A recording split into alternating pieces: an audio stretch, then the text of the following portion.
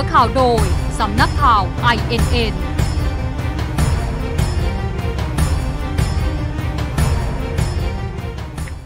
อนุทินเผยหากสสกวนธรรมนัตย้ายซกภูมิใจไทยถือเป็นสิทธิ์ ระบุต้องเคลียร์ให้จบอย่านำปัญหามาถึงพัก นายอนุทินชาญวีรกูลรองนายกรัฐมนตรีและรัฐมนตรีว่าการกระทรวงสาธารณาสุขในฐานะหัวหน้าพักภูมิใจไทย กล่าวถึงกรณีที่มีกระแสข่าวว่านายเอกราชช่างเหลาสสพักพลังประชารัฐ ซึ่งอยู่ในกลุ่มสส 21 คนของร้อยเอกธรรมนัฐพรมเผ่าอดีตเลขาธิการพักจะย้ายไปร่วมกับพักภูมิใจไทยว่า นักข่าวช่างถามจริง ๆ และขอให้มาจริง ๆ เพราะยังไม่เห็นใครมาสักคน และขอให้นายเอกราชถูกขับออกจากพักพลังประชารัฐเสียก่อน ค่อยมาถามตนเอง ยืนยันว่าไม่ได้มีการทาบทามหรือพูดคุยกัน ทั้งนี้หากสสทั้ง 21 คนอยากมาสังกัดพักภูมิใจไทยก็ถือว่าเป็นสิทธิ์ เพราะสสต้องหาพักใหม่สังกัด ถ้าหากสสเหล่านี้เดินมาบอกว่าไม่มีพักใดรับเลย หรือไม่มีพักใด รับเงื่อนไขที่ตกลงกันไว้ได้ ค่อยว่ากันอีกที และหากรับมาแล้วจะมีปัญหากับร้อยเอกธรรมนัฐหรือไม่ว่า ตามหลักการแล้วสสทั้ง 21 คนควรจะมีข้อตกลงกันก่อน อย่าให้มีปัญหาถึงพักภูมิใจไทย แต่ตอนนี้ยังไม่เกิดขึ้นค่อยว่ากันอีกที ทั้งนี้นายอนุทินได้เปิดเผยถึงการเข้าร่วมประชุมคณะกรรมการปปส วันนี้ว่าเรียบร้อยดี ซึ่งตามข้อกำหนดในพระราชบัญญัติที่คณะกรรมการปปส ได้มีมติเห็นชอบร่างที่คณะกรรมการควบคุมยาเสพติดได้เสนอมา โดยในร่างนี้ได้มีการระบุชื่อยาเสพติดประเภทที่ 5 ซึ่งเป็นสารที่ให้โทษกับผู้เสพ จึงมีผลบังคับใช้เลย ส่วนสารสกัดของกัญชาที่มีสาร THC 0.2%เนื่องจากยังมีข้อที่จะต้องออกข้อกำหนดการควบคุม เพื่อให้มั่นใจว่าจะนำมาใช้้ทางการแพทย์และอุตสาหกรรมสุขภาพ ไม่ใช่เอาไปใช้ในทางที่ผิด ก็จะต้องมีการยื่นพระราชบัญญัติกัญชงและกัญชา ซึ่งในวันพรุ่งนี้พรรคภูมิใจไทยจะนำเสนอพระราชบัญญัตินี้ ลงนามโดยสมาชิกพรรคภูมิใจไทยทุกคน ซึ่งก็คาดว่าน่าจะได้รับความร่วมมือจากบรรดาผู้แทนราษฎรทุกคนด้วย แล้วจะเร่งให้มีผลบังคับใช้ภายใน 120 วัน หลังจากมีการประกาศในราชกิจจานุเบกษาค่ะ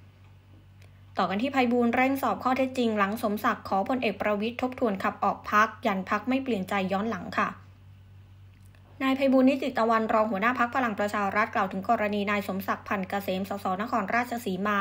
ซึ่งเป็นหนึ่งใน 21 สสที่พักมีมติขับออก ได้ยื่นหนังสือถึงพลเอกประวิตยวงสุวรรณหัวหน้าพัก ขอทบทวนและอ้างว่าไม่ได้ร่วมรับรู้กับข้อเสนอปรับโครงสร้างของร้อยเอกธรรมนัฐพรมเผ่า จึงต้องตรวจสอบข้อเท็จจริงว่า นายสมศักดิ์อยู่ร่วมในห้องประชุมหรือไม่ เพื่อให้ได้ข้อสรุป แต่จากการสอบถามเพื่อนสสได้รับการยืนยันว่า นายสมศักดิ์อยู่ในห้องประชุม และร่วมลงมติด้วยตลอด จากนี้จะเร่งตรวจสอบข้อเท็จจริงให้เร็วที่สุด พร้อมยืนยันพักไม่มีเปลี่ยนแปลง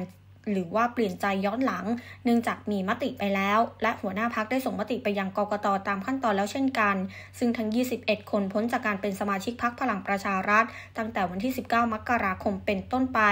ทั้งนี้หากไม่สามารถไปสังกัดพักอื่นได้ภายใน 30 วัน ถือว่าต้องพ้นสมาชิก สกภาพจากการเป็นสสตามกฎหมายค่ะ ส่วนกกตจะส่งกลับมาเพื่อให้พักทบทวนหรือไม่นั้นขึ้นอยู่กับกกต ซึ่งสิ่งที่กกตจะพิจารณาคือเอกสารการประชุม องค์ประชุม รวมถึงการลงมติ ซึ่งต้องเป็นไปตามรัฐธรรมนูญสำหรับตำแหน่งเลขาธิการพักแทนร้อยเอกธรรมนัฐเป็นอำนาจของพลเอกประวิทย์ที่ต้องเลือกในที่ประชุมใหญ่ เช่นเดียวกัน หากจะหารักษาการเลขาธิการพักในช่วงนี้ ก็ต้องเป็นพลเอกประวิทย์คนเดียวเท่านั้นที่ตัดสินใจค่ะ ปิดท้ายกันที่รัฐมนตรีว่าการกระทรวงพาณิชย์สังคมการค้าภายในหาจุดสมดุลขายปาล์มทั้งระบบค่าชัดเจนภายในสัปดาห์นี้ ยอมรับราคาขายปลีกสูงจากต้นทุนสูงพุ่งค่ะ ไปติดตามประเด็นนี้นะคะ กับคุณขวัญใจนวลจันทร์รายงานค่ะ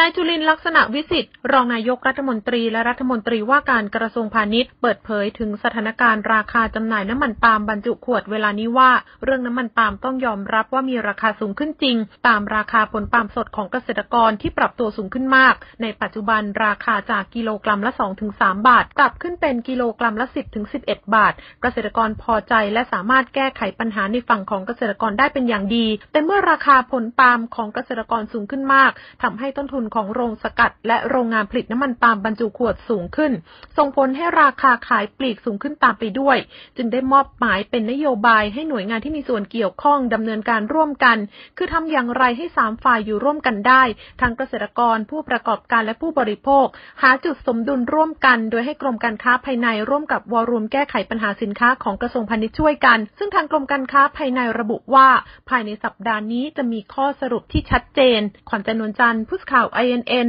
รายงานค่ะ จบการเสนอข่าว 17 นาฬิกา 5 นาทีค่ะ